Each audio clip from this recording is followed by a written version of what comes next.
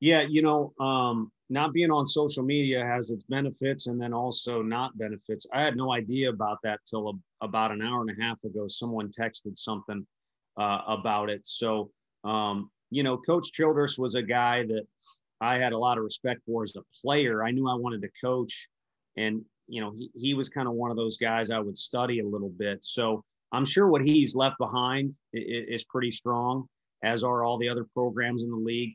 But whoever gets a job, you know, like Coach Schlossnagle will go there, put his own spin on it, and every team is going to be good in the league, and every every year the league is going to be really really tough.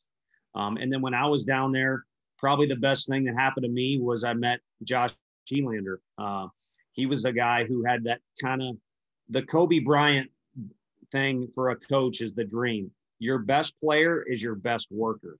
And, um, you know, he was certainly our most talented offensive player.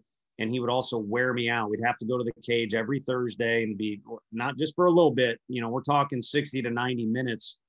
And one of those things that back and forth and getting to know him is what made our relationship of kind of working with hitters and then eventually working together and trusting him with our recruiting um, it, it, all kind of stemmed back to those days. So that's that's the thing I take the most uh, from from that time down there.